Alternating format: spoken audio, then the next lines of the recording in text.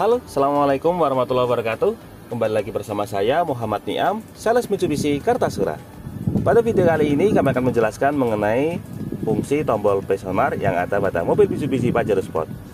Nah kira-kira apa fungsinya dan kapan penggunaannya? Nah untuk lebih jelasnya, simak video ini sampai selesai. Tapi sebelumnya jangan lupa klik like pada video ini, tekan tombol subscribe dan nyalakan belnya untuk mendapatkan notifikasi terbaru seputar mobil Mitsubishi Pajero Sport.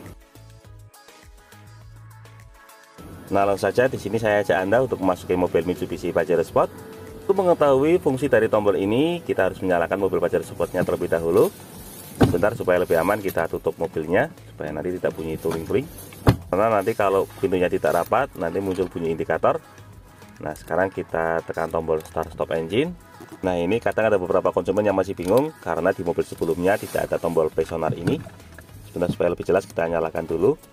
Nah, di sini bisa kita lihat untuk tombol pesonarnya juga ikut menyala, indikatornya berupa lampu warna hijau. Sesuai dengan namanya, pesonar ini artinya tombol untuk sensor parkir. Jadi kalau tombolnya menyala, ini artinya fitur sensor parkirnya aktif. Nah, seperti kita ketahui, di mobil Mitsubishi Pajero Sport ini sensor parkirnya ada banyak. Di antaranya ada sensor parkir yang lokasinya di bagian depan, kemudian ada juga sensor parkir yang lokasinya di bagian belakang. Untuk cara kerjanya sebenarnya sudah sangat jelas. Kalau sensor parkir di bagian depan, fungsinya untuk mendeteksi objek yang ada di bagian depan. Jadi kalau misalnya di bagian depan ada mobil atau ada tembok, maka secara otomatis sensor parkir yang ada di bagian depan ini akan mendeteksi. Demikian juga ketika misalnya kita mundur, nah ketika kita mundur ini, maka sensor parkir yang aktif, sensor parkir yang di bagian belakang. Nah semakin mundur mendekati warna hijau atau warna kuning, maka indikator sensor parkirnya akan aktif Nah, di sini sudah memasuki warna hijau, ini sensor parkirnya sudah mulai bunyi. Semakin mepet ke warna kuning, maka sensor parkirnya suaranya semakin kencang. Dan ketika sudah memasuki zona ke zona merah, maka sensor parkirnya bunyinya semakin kencang lagi. Ya, yang merasa terganggu dengan bunyi sensor parkir ini, nah untuk bunyinya tersebut bisa dimatikan. Caranya dengan menekan tombol sensor parkir yang ada di bagian sini. Ketika tombol sensor parkirnya ditekan, nah ini tombolnya mati, maka bunyi sensor parkirnya juga ikut mati Kenapa diberi tombol ini?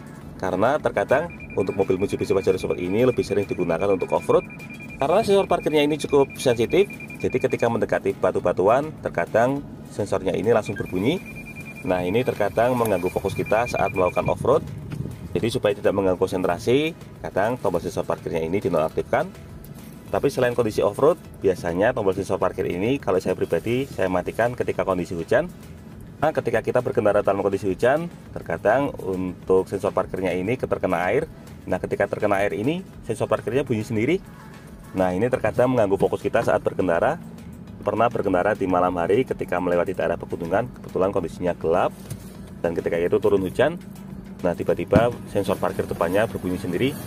Padahal di depan tidak ada apa-apa. Nah, ini tentunya akan sedikit mengganggu dan sedikit agak menakutkan. Punya usut Ternyata jika ujungnya turun dalam kondisi deras, maka sensor parkir akan mendeteksi objek di bagian depannya adalah objek padat.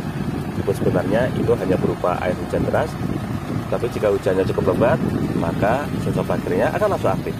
Nah, bagi Anda yang memiliki mobil Mitsubishi Pajero Sport dan pernah berkendara dalam kondisi hujan deras, pasti pernah mengalami kondisi serupa. Jika melewati jalur sepi, hujan deras, tiba-tiba sensor parkirnya bunyi sendiri. Nah, ini agak sedikit horor.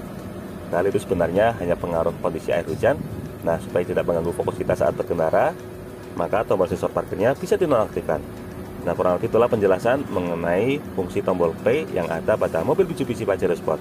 Semoga video ini dapat bermanfaat, terutama bagi Anda yang saat ini sedang berencana untuk membeli mobil Mitsubishi Pajero. Nah, untuk selanjutnya, ada yang dibuatkan video mengenai apa? Silahkan tuliskan pada bagian kolom komentar. Untuk info lebih lengkap mengenai stok mobil Mitsubishi, silahkan bisa kunjungi channel YouTube kami, ada channel Gudang Mitsubishi yang akan berikan informasi terbaru mengenai update unit ready stock dari mobil Mitsubishi. Untuk linknya sudah kami cantumkan pada bagian kolom deskripsi. Jangan lupa untuk klik like, subscribe, dan bagikan video ini kepada semua orang yang Anda kenal. Saya doakan bagi Anda sudah like dan subscribe pada video ini, semoga rezekinya semakin lancar, dan tahun ini bisa membeli mobil Mitsubishi Pajero Sport semua. Terima kasih banyak sudah nonton video ini, semoga bermanfaatnya. Jangan lupa, ingat Mitsubishi, ingat Mas Niam. Terima kasih.